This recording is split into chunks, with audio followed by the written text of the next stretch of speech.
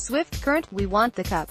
We want the cup, that chant rained down onto the ice Sunday night as the Swift Current Broncos put the finishing touches on a 3-0 win over the Everett Silvertips in Game 6 of the WHL Final.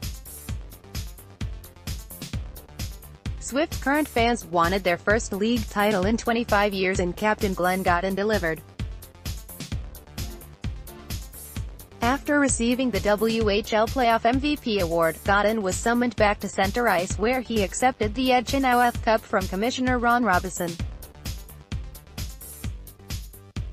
Gawdin smiled as he lifted the trophy high in the air, soaking up every bit of appreciation he was shown by a sellout crowd at the Credit Union Iplex. Unbelievable, Gawdin marveled as 2,890 fans slowly began heading for the exits.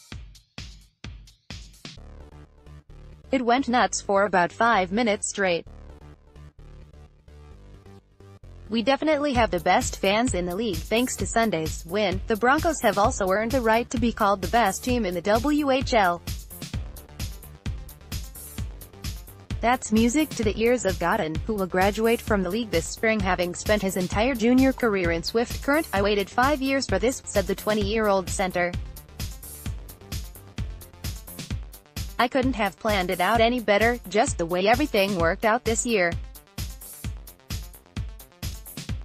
It was a long road but the feeling right now, nothing beats it. From a historical perspective, it's the first time a Saskatchewan team has won the WHL title since Swift Current did it in 1993.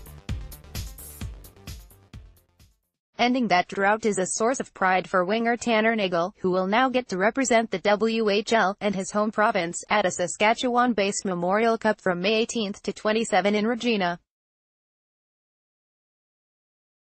Until then, he plans to enjoy Sunday's win. It's something I've dreamt about my entire life. I still can't even believe that it happened, said Nagel, a native of Mossbank who played some of his minor hockey in Swift Current. I grew up really close to here and I spent a lot of time here. This is like a second home for me. I have friends and family that got to be here for Sunday's win. It's amazing to bring the title back to Saskatchewan and bring it back to Swift Current. The Broncos weren't necessarily considered a championship contender heading into the season, but that perception began to change after they won eight straight games right out of the gate. Although they showed no signs of letting up, there was reason for concern due to a lack of scoring depth behind the dynamic trio of Gawdin, Tyler Steenbergen and Aleksi Heponiemi. Reinforcements arrived on November 25 when head coach and director of player personnel Manny Viveiros acquired second-line forwards Matteo Gennaro and Beck Malenstyn from the Calgary Hitmen. The next move was to address the back-end, landing veteran stay-at-home defenseman Josh Anderson from the Prince George Cougars on Jan. 7. Two days later, the Broncos made their biggest move yet by landing goalie Stuart Skinner, center Giorgio Estephan and Nagel in a blockbuster trade with the Lethbridge Hurricanes. Those deals helped propel Swift Current to the WHL's second-best record, 4-8-1-7-5-2, and a first-round playoff meeting with the Regina Pats, who have an automatic berth in the Memorial Cup as its host team.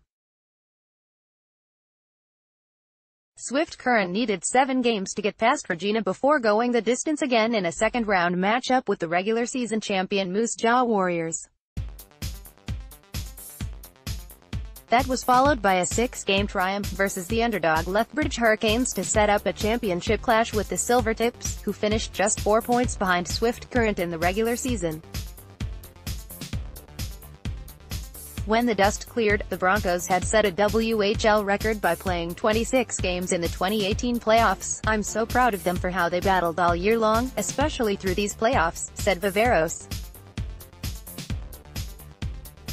It was a difficult playoffs but our kids never for one minute looked tired. They came to the rink every day ready to go. They were determined, Everett was really good, so was everybody we played, but our kids weren't going to be denied. Carter at postmedia.com